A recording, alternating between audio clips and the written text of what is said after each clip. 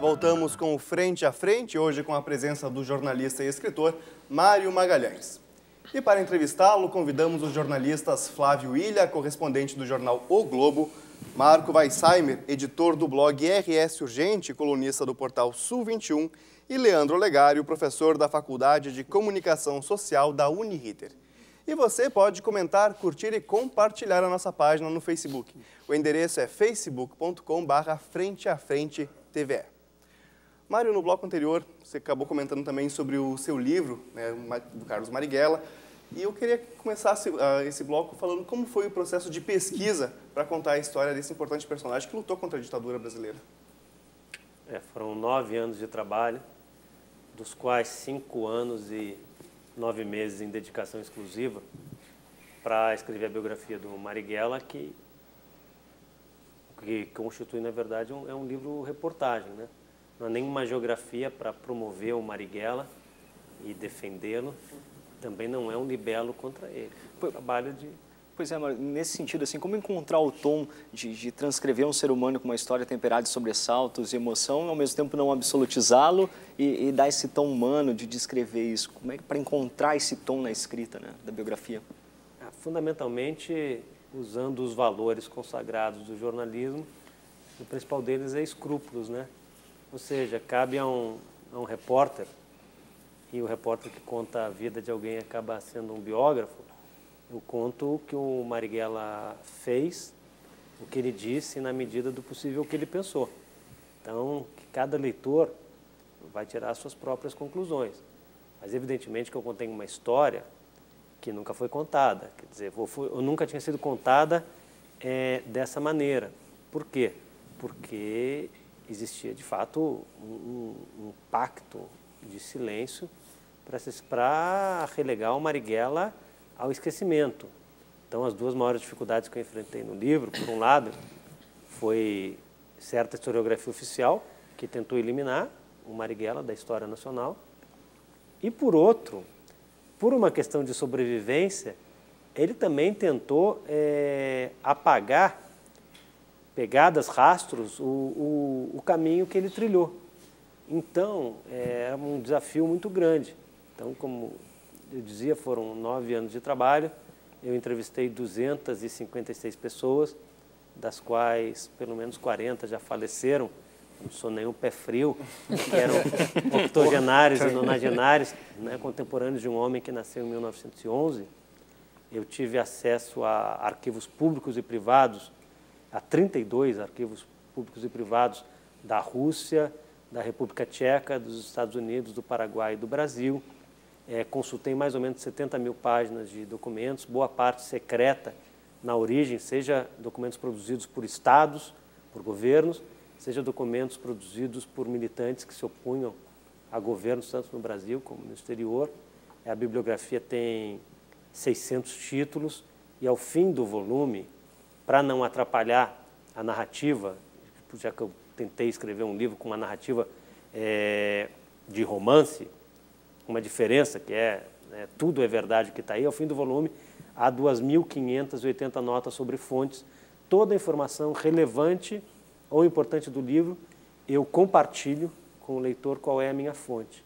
É isso, porque se eu fosse o leitor e lesse como está escrito, que ao ser baleado num, num, fim de tarde de sábado, 9 de maio de 64, no cinema do, no Rio, o sangue que escorreu na boca do Marighella, ele sentiu um gosto adocicado, eu ia pensar, pô, esse cara está é, tá cascateando, ou então é, teve algum, outros meios é, heterodoxos para buscar essa informação. Então eu digo, olha, foi Marighella que contou isso em tal livro. Né? Infelizmente, é, ao contrário da minha mãe, eu não sou espírita. Então eu não tive a oportunidade de entrevistar o Marighella. O fundamento... que, que, que, que ficou para você do, do, do seu xará, no seu xará não, desculpe, do Carlos Marighella? que, que ficou para você depois desse trabalho todo? Né? Ele era um militante lúcido, como, como dizia o Fidel Castro, como disse o Fidel Castro dele numa ocasião em que o encontrou, ou era um militante fiel às ordens da União Soviética, fiel a Stalin, depois fiel a Khrushchev, depois fiel às, às orientações? Ele era um militante disciplinado ou era realmente um, um revolucionário com uma visão uh, mais crítica do processo, do processo de tomada do poder pela esquerda no país? Olha, a síntese que ficou para mim do Marighella, é, bom, em primeiro lugar, é o, o tamanho dele. Dizer, o subtítulo do livro é O Guerrilheiro que Incendiou, Incendiou o, mundo. o Mundo. Quer dizer, os apoiadores do Marighella no exterior eram personalidades é, é, da cultura e da política é, de enorme projeção. Marighella foi monitorado pelas grandes agências de espionagem do mundo e até hoje é estudado desde a da sede dos cursos na sede da CIA em Langley nos Estados Unidos até a academia militar em, em Nanquim na, na China e outro aspecto que para mim é assim uma síntese do Marighella é que é legítimo amar o Marighella e é legítimo odiá-lo mas é muito difícil ficar indiferente à vida trepidante que ele teve e essa vida é, que teve grandes e pequenos momentos teve atos dignos de aplauso e atos que merecem condenação, isso estou de acordo com os meus valores. Eu não escrevo em nenhum momento Sim. no livro que o Marighella é um herói brasileiro Sim. ou que é um vilão brasileiro. Né?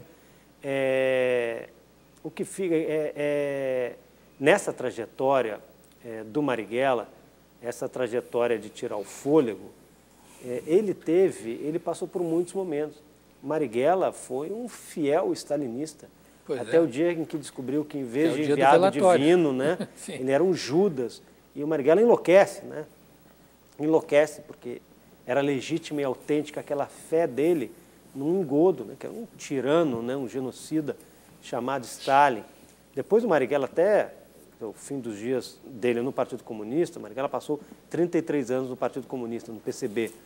É, ele te, passou pelo tempo em que o o Nikita Khrushchev, depois o Leonid Brezhnev foram os grandes líderes soviéticos, mas a partir da morte do Stalin, de alguma maneira, o Marighella descobriu que não há Deus em política e não há nenhuma palavra sagrada. Ele foi buscar o caminho dele. Nos últimos dois anos e meio de vida do Marighella, até ser assassinado, que são os dois anos e meio do Marighella na luta armada, ele tinha, ele colaborou com diversos governos do exterior ou combinou colaborações que acabaram rolando só depois da morte dele, mas ele tinha uma coisa clara, ele tinha um traço, ele era um revolucionário, Marighella morreu comunista, embora a, a ALN, Ação Libertadora Nacional, organização armada que ele comandava, organização guerrilheira, não fosse uma organização comunista, é, o Marighella considerava que quem tinha que decidir a política e os rumos dos guerrilheiros da esquerda no Brasil eram os brasileiros. É mais ou menos assim, nesse botequim quem manda somos nós. É por isso que nos meses finais de vida ele entrou em choque com o governo cubano é, de uma maneira muito intensa e que, bom, cujos pormenores estão, estão descritos no livro. Deixa eu fazer uma, não sei se chega a ser uma, uma provocação, mas é uma impressão, eu ainda estou lendo, ainda estou lendo seu livro, mas é uma impressão que eu tive é, pela, por uma escolha inicial que faz na, na obra, né? que é logo, logo na abertura tu coloca duas Tu abre o livro, quer dizer, o leitor abre o livro, passada contra capa e orelhas, encontra, vai encontrar duas frases. É uma do Truffaut e uma e outra do Goethe. E as duas falam né, uma, uma espécie de, de elogio da, da ação, do que os homens fazem. Né? Quer conhecer, é, quer conhecer, às vezes, para conhecer um, uma história de um homem, de uma, uma mulher, uma, uma trajetória humana, é, talvez mais importante conhecer suas ideias é que se concentrar na sua ação. É, e, e, aí no prólogo, né, tu apresenta a cena, que é o episódio da prisão, né, quando Marighella é preso e baleado num cinema no, no, Rio de Janeiro. E é um, que é um episódio, na minha opinião, magistralmente descrito. Assim, acho que com o livro todo está de parabéns pela, pela obra. Mas, me, mas cita, e essa é uma citação que aparece em outros momentos, a frase do, de um um dos algozes perseguidores do Marighella, que era uma advertência que ele dizia a seus filhos, é cuidado que o Marighella é um cara valente. Né? Então, quando tu diz que apesar de tu tentou é, não apresentar ele nem como herói, nem como vilão, a impressão que, que me passa até agora é que tu termina o, vai terminar essa obra com uma admiração pelo, pelo, pelo homem que ele foi, apontando, por exemplo, a valentia em vários momentos como uma das suas das suas grandes virtudes. Né? Não sei se está correto, se tu, se tu concorda com essa, faz jus assim, como, como tu terminou o livro. É, o livro, eu não vou contar aqui, mas termina com uma cena passada no Rio Grande do Sul, com três personagens daqui, pelo, pelo menos um nascido em Santa Catarina, mas criado aqui. É, o epílogo se chama Uma Pandorga no Céu, não é uma pipa no céu, uma raia no céu, um papagaio no céu, é uma pandorga no céu. É a cena final que se passa aqui. Bom, tem muitos episódios do livro que se passam no Rio Grande do Sul.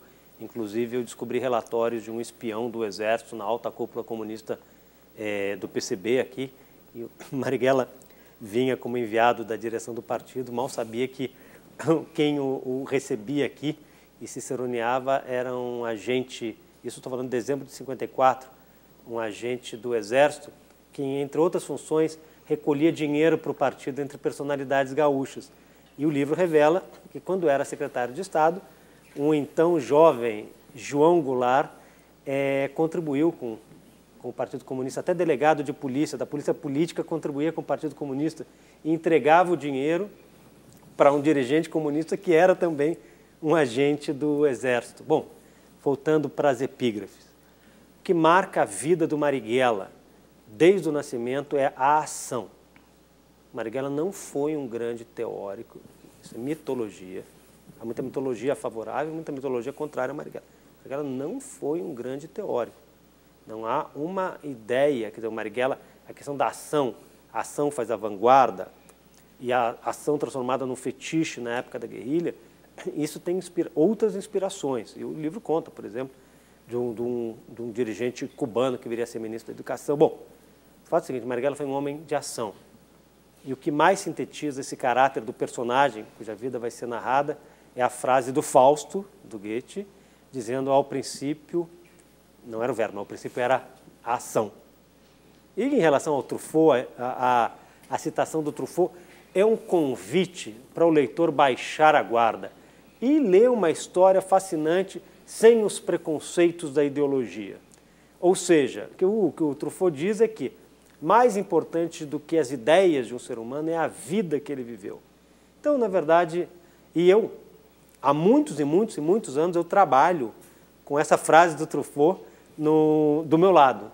Desde os meus tempos na Folha de São Paulo, eu trabalhava com essa frase do Truffaut, que era uma inspiração cotidiana para tentar contar a história das pessoas, que as pessoas são muito mais do que elas falam, é, do que as ideias que elas defendem e, e elaboram. Mas, de, de, alguma forma, te surpreendeu, por exemplo, ao, ao, ao, ao, te deparar com a biografia do, do Marighella, com aquela carga de humor que ele tinha, por exemplo, com aquela empatia que ele ah, tinha. Muita, só sofri né? nove é, anos nove anos de trabalho, né? Porque isso é muito presente no livro, assim, né? Muitas fotos que tem dele, o Marighella está sempre sorrindo, é, tu descreve ele como um cara alegre, como um cara brincalhão, como um cara que, né, que, que levantava o astral do, ele era de assim, todo mundo. Então, isso, isso de, de certa forma, é surpreendente para quem Marig... tinha uma visão oficial, oficialista do Marighella como um sujeito ligado à luta armada, um sujeito bélico, um sujeito violento, como é que... É, o Marighella é o seguinte, ele passou 33 anos no Partido Comunista e dois anos e meio na luta armada. Ele foi, essencialmente, na trajetória dele, um dirigente comunista. O Marighella é, passou dois anos no parlamento. Ele foi um grande constituinte em 46, membro da mesa da constituinte e foi deputado federal, depois caçado por intolerância política. É, mas sobre a, a, a, o personagem, né, quer dizer, a simpatia ou não... Sim é o seguinte, eu sou um repórter, eu tenho e um narrador. Eu tenho plena noção. Marighella foi um cara muito valente, fisicamente, muito valente. Ele foi e, e, só que tem muito mais valor isso sendo dito pela boca do mais importante membro Sim. da polícia política da história do Brasil, falecido delegado Cecil Borer, emérito torturador, que estava nas buscas do Luiz Carlos Prestes, da Olga Benário, em março de 36, é, isso dito pelo Borer para mim, gravado, sabe, é muito mais importante do que 500 companheiros do Marighella me dizendo, não, Marighella era valente, porque o Borer era um inimigo dele. E respeitava o inimigo que tinha pela frente. E ele respeitava muito o Marighella, tanto que ele tinha essa, cuidado que é valente.